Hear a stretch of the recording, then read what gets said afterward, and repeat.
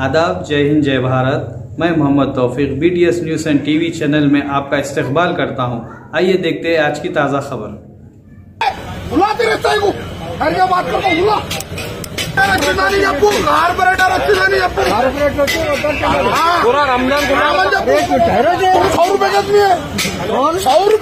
यानी पाँच तारीख के सुबह सुबह दो बजे, दो बजकर दस मिनट पर भोलकपुर, मुशीराबाद पुलिस लिमिट्स में, भोलकपुर एरिया में नाइट पेट्रोलिंग में है सो जवान अनिल और होमगार्ड कारैया। दो ऑफिसर्स ब्लू कोट्स पेट्रोलिंग कर रहे थे।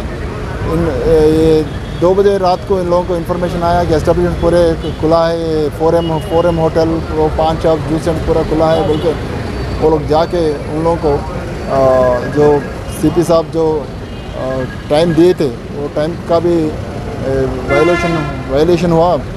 बोल के इन लोगों को समझा के बंद कराते वक्त अ, local area corporator Mohammed Ghousuddin Ilyas Taha अ, वो मुकाम पे आके पुलिस वालों से, पुलिस ऑफिसर्स दोनों के से गैर ज़रूरी आर्गूमेंट करके उन लोगों को धकल दे के उनके ऑफिशियल ड्यूटीज़ को ऑब्स्ट्रक्शन किया।